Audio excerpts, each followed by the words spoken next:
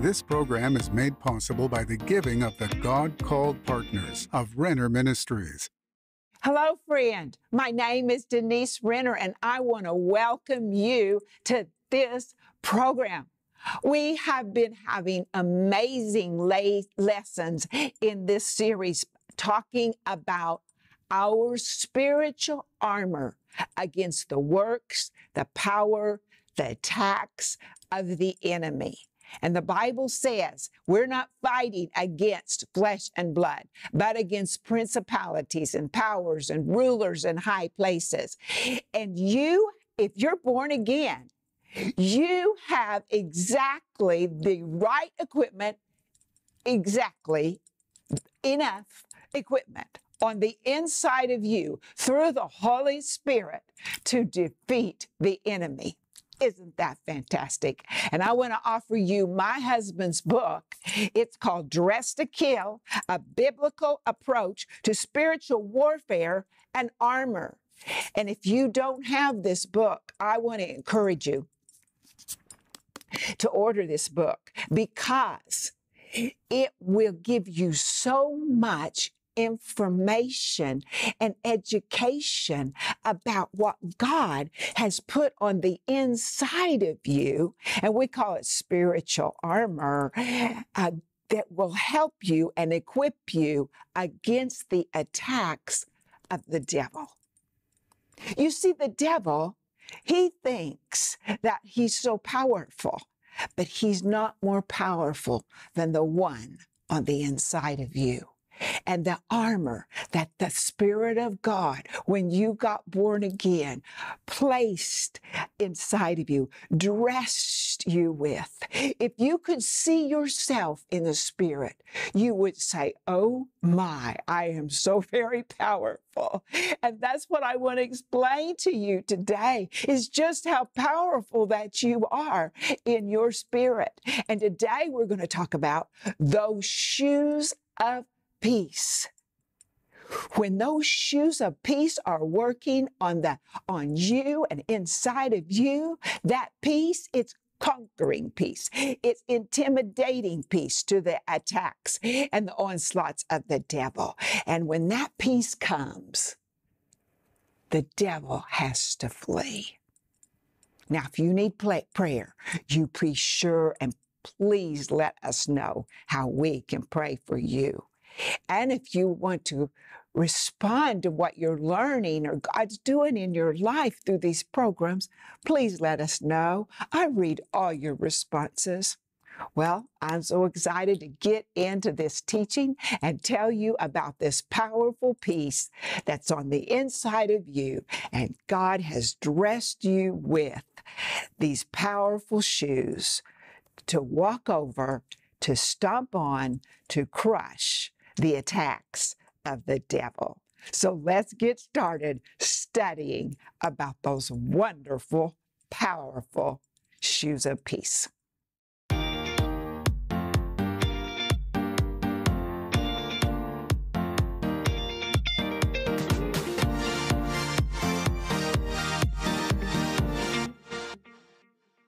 Well, we're going to get started talking about these powerful shoes that you have on your feet and this amazing equipment that God has given you to fight against the wiles and the schemes of the enemy.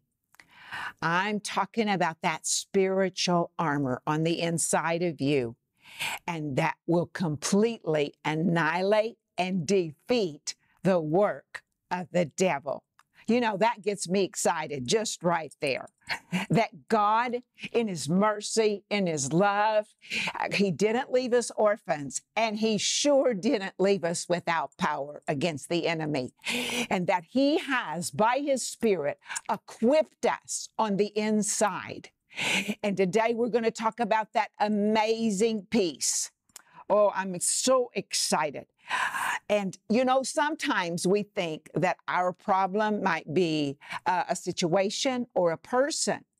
But as we've already said, the Bible says our problem is not that person. Our problem's not that situation. Our problem is not what's going on around us. Our problem is principalities and powers and rulers in dark places. And we do not have to be afraid because you, my friend, you're equipped by the Spirit of God. And so that's what I'm talking to you about today. And we're going to talk about those wonderful shoes of peace. Are you ready? I'm ready. The Bible says in chapter 6 of Ephesians that our feet have been sh- shed abroad with sh- with peace that these with these shoes of peace. And it is not just peace like um you know passive. Oh no no. This peace is conquering. This peace is aggressive. And it's a threatening work to the enemy. And i want to show you about this peace in the life of jesus in Mark chapter 4, verse 38, we read in those verses about the disciples getting into the boat, Jesus getting into the boat, and a huge storm. I, mean, it's it's like a storm, like a like a cyclone, like I mean, something has erupted in the sea, and water is filling their boat. And the disciples are fearing for their life. They do not know if they're going to see their families the next day. I mean, they're really. I know you know this story, but think about those disciples. Think about that horrible sound of that wind and the waves coming into the boat and they look at their feet and and they see water rising up and rising up and they don't even know if they're going to see their families again and and fear has surrounded them it's engulfing them they're probably yelling at each other. Do something, Peter. Luke, you do something. John, do something. And then finally they say, well, let's just go get Jesus. So they go, and the Bible says that when they came to Jesus, he was asleep. Friend, I was studying this. Actually, I was studying it this week again. And I just read those three simple words. He was asleep. And I thought, Lord, Lord, the peace, the peace that must have just surrounded you. You said you were going to the other side, so you just laid down and took a nap. And even as the water was rising, and and we don't even know, friend, how far the water got up on Jesus. Maybe it was to his knees, maybe it got up to his chest. But it says that Jesus was asleep. And I thought, Lord, that's the peace. That's the peace that you've given to each one of your children. It's on the inside of us, that very conquering, aggressive peace against the works of the enemy, against anything that will come and disturb us or shake us, that your peace is greater. And you were just peacefully sleeping. And of course, the disciples, they got a hold of Jesus. They said, Wake up, Jesus. Don't you care that we're perishing? And Jesus spoke to the wind, and the waves calmed, and the peace uh, overcame the storm. I was teaching this one time, and there was a young woman listening to this and she started thinking about the peace of God on the inside of her. And her situation was that she lived to, next to neighbors in the in the apartment building that she was in, and the walls are not very thick. And so at eleven o'clock, twelve o'clock at night, those neighbors are still screaming. They're still playing loud music, and that woman she would complain, but nothing could be done. And and I mean, it's just stealing her sleep night after night after night. And she was listening to this teaching and she was listening about Jesus sleeping and possibly that water just coming up even to his chest and he's still asleep. And she said, I've got that peace. And she told me, friend, that she just went to sleep that night.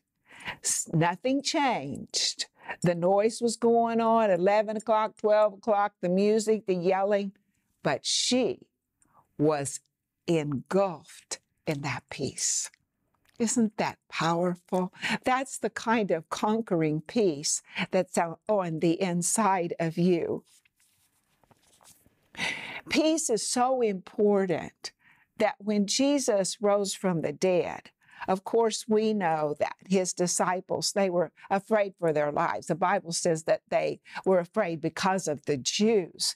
And in John chapter 20, verse 19, it says, then the same day, the evening being the first day of the week, when the doors were shut, where the disciples were assembled for fear of the Jews, Jesus came and stood in the midst and said to them, Peace be with you. Then we can go to verse 21, and Jesus has shown them his hands and his side. And in verse 21, again, Jesus says, Peace to you. As the Father has sent me, I also send you. Then in verse 26 of that same chapter, eight days later, the disciples are together and Thomas is with them. And Jesus came, the doors were shut, and he stood in the midst. And the Bible says, he said, Peace to you. Why was peace so important? Friend, the disciples, they didn't know what was going on in their life. They committed their life to Jesus. They had been with Jesus for three years, nonstop. They ate with him. They slept with him. They laughed with him. They rested with him. They worked with him. They did miracles with him for three years. And now they just saw him be crucified and buried and they didn't know what was going on with their life and what were the Jews going to do with them. And they were afraid. And every time Jesus came into their presence, he said, Peace to you. That's why it's so important right now, friend, that you and I, in these days when things are going on that we don't understand, that we take a hold and we recognize the peace of God that's on the inside of us. And that peace is shattering and destroying every single doubt and fear that can be plaguing our hearts or our emotions. On that day, Jesus said exactly what they needed to hear. He came with exactly what they needed peace. And now, for you and I in the 21st century, what do we still need in this troubling time? We need peace. Now, look at how we've been given a relationship with our Heavenly Father through the power of the Holy Spirit, and we have been given His peace. Not that Jesus walked through walls and came and stood in the midst of us, but He came to live on the inside of us and bring us that peace. Isn't that fantastic? And this peace is a weapon, and it's a weapon on your feet. Wherever you go, your feet are covered and draped with this amazing, this amazing peace. And the Bible says in Philippians chapter 4, verse 7, that this peace, that it passes all understanding and it keeps our hearts and our minds through Christ Jesus. So peace is so powerful that it says it passes understanding that you can be in the most difficult situation. And because of your shoes of peace, those amazing shoes, you can conquer and be victorious in the most difficult situation. It's beyond our understanding. Aren't you glad it's beyond our understanding? Because God is so big.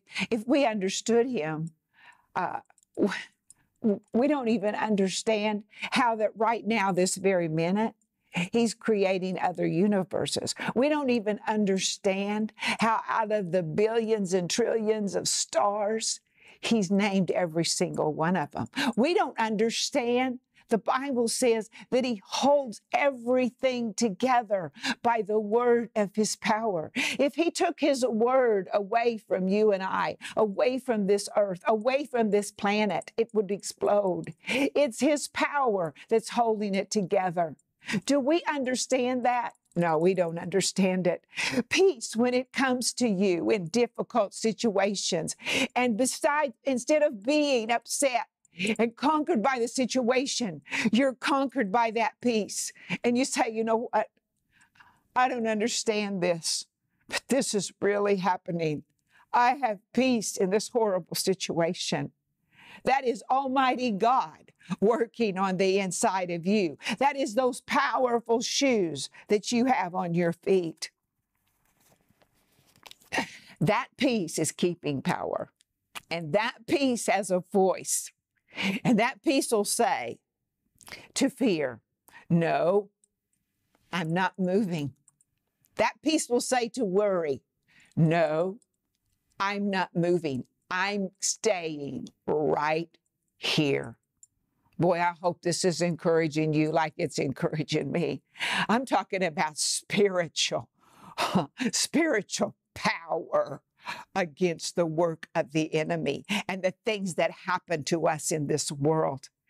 You know, the Apostle Paul, when he wrote this in Ephesians, he was in a prison and uh, he was next to a guard, a Roman guard, and he could look and, and examine all this uh, armor on this amazing soldier. And he could look down at his feet and see those killer shoes. And the Holy Spirit was showing the Apostle Paul, Oh, son, that's what you look like on the inside. I'm proclaiming to you right now, friend. That's what you look like on the inside. You have these killer shoes on your feet. Now, my husband, he's a Greek scholar, and in in Romans chapter uh, 16, it says that these shoes of peace, they will crush Satan under your feet shortly. Now, it, I want to talk to you about that word crush because it means that it will uh, bring to nothing, crush as into powder. Your shoes of peace can annihilate, crush, make as nothing the attacks and the attempts that the enemy tries to bring against you under your feet, which are covered with peace. That's how powerful that peace is. Now, in Romans chapter 16, and it's talking about those peace, the peace that crushes. You see, those Roman soldiers, they would, uh, when they walked down the street, in their great form and their great strength and their great athletic aptitude and everything that they were equipped with to crush their enemy, they had on killer shoes. Why do I call them killer shoes? Because on the bottom of, of them were spikes at least two to three inches long. And so as they walked down the road, if anything got under their feet, they just crushed it and it became as nothing. And that's what the Spirit of God is exhorting us today that if something gets in your way, if the devil comes, with his attempts, with his accusation, with his accusing of you, with his trying to steal your peace or your joy or your patience, that you just, with those peace, with those killer shoes, peace on your feet and on the inside of you, you just walk right over it. You just crush it under your feet. That's how powerful the peace of God is on the inside of you. Aren't you glad that God just didn't leave us power? Powerless, but He packed us full with power on the inside to stand up against any enemy and to crush them under our feet with these killer shoes. I'm telling you, I think this is so powerful. Friend, I want to say to you, you are not powerless. I know that things are going on in this world and they just seem like it this is people say this is crazy. Well this really truly is crazy. People have truly lost their minds. It's demonic power that is causing people to act in such insane ways and maybe you see it, and maybe it's even touching your family, or maybe it's touching you. And fear tries to come. Fear knocks on your door, on, the, on your heart, on your mind, and says, You can't get over this.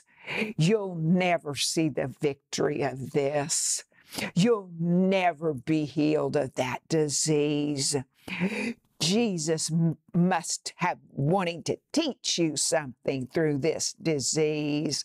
All kinds of lies and schemes and accusations try to plow into your mind. But I'm telling you, you have something more powerful on you than those accusations, lies, and schemes and things going on around you. It's your shoes. It's your shoes of peace. It's the peace of God that's on the inside of you. It's the Prince of Peace who put his very self on the inside of you. And when we acknowledge that peace, friend, that, and agree with what God has put on the inside of us, that's when we can crush Satan under our feet shortly. Well, I want you to stay with me because I'm going to pray for you. And we're going to agree together and acknowledge together that wonderful peace, that conquering peace, that annihilating of the enemy kind of peace. And we're going to receive that peace and have victory in our lives together. So you stay with me. I'm going to be right back and I'm going to pray for you. The devil is real, and as long as you seek to live in God's will, obey His word, and drive back the forces of darkness, the devil will do his best to oppose and thwart the plan that God wants to accomplish through you. But God has given you everything you need to victoriously stand against the devil and to thwart his attacks. That's right. God has provided you with a complete set of spiritual armor that will put the devil on the run every time. With that weaponry at your disposal, you are dressed to kill. In the in-depth 10-part series, Dressed to Kill, Rick Renner covers the power needed to sustain you through any battle, the seven weapons God has provided for you to use against the enemy, the way to stand victoriously against the wiles of the devil, the God-given strategy to keep the devil under your feet, and so much more. This powerful, life changing 10 part series is available in digital or physical formats, starting at just $20. You can also order Rick's companion book on spiritual armor and spiritual warfare called Dressed to Kill. This fully illustrated 500 page book will answer your questions about the often misunderstood subject of spiritual warfare. It will teach you how to put on the full armor of God and the important role each piece of armor plays in defeating the enemy. This powerful classic on spiritual warfare and spiritual armor can be yours for just $22. Don't miss this special offer. This series, Dressed to Kill, and Rick's companion book, Dressed to Kill. Call the number on your screen now or go to Renner.org to order. Call or go online now. Friend, isn't it wonderful to hear about the amazing peace of God? That He wouldn't leave us powerless. Oh, no, no, no. He left us with so much power to overcome, to be victorious in whatever situation we might find ourselves in. Maybe, maybe I'm talking to somebody right now and, and some kind of sickness or disease has tried to come on you or come on you. And oh my gosh, it's stealing your joy, it's stealing your peace, it's stealing your money, it's stealing your time. And you've just thought, God, God, where are you? I want to tell you, dear friend, He's right there. He's on the inside of you, bigger than that disease, bigger than that diagnosis, bigger than the fear, bigger than what other people say. The power of God is on the inside of you. I know I'm talking to somebody right now, and I'm encouraging you right now to recognize that great Prince of Peace that's on the inside of you to even bring healing to your body. And right now, I speak peace to you. I speak peace to that disease. I speak peace to that burning on somebody's skin. I speak peace to that heart that's not beating right. I speak peace to that burning that's inside of your, on your skin, somewhere on your skin. I speak peace to that in the name of Jesus because the one who's the peaceful one the Prince of Peace. He's on the inside of you, and He's greater than any disease, any threat, any thought, any opinion of anybody else. That peace on the inside of you is greater. And Lord, right now, with my friend, we acknowledge, we receive that great peace that's now ministering to each one of us. We receive your peace, your Almighty God. We receive your peace. Part of our armor is your peace. We receive it right now in the powerful name of Jesus. Friend, if God is touching you in any way, please let us know. If you need prayer and you want to agree with somebody, please call us. We're there for you. But I want to thank you for being with me because I've enjoyed so much talking to you about these wonderful killer shoes of peace that are on your feet and on the inside of you.